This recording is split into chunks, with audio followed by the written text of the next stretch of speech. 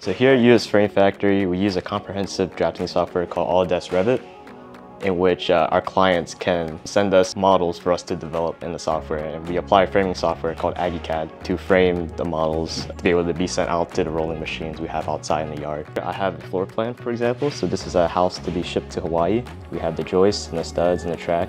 And so we frame the roof, the floor, and the wall. And we always make sure to double check with the client this is what they want. If they want us to make any necessary changes, it's very easy to, for us to go back and make those changes so we can frame it correctly.